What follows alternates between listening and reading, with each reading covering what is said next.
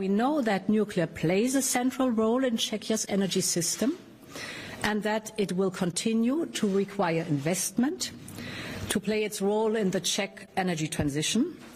And this is why we are always willing to consider state aid, of course, provided the conditions are right, but this is important.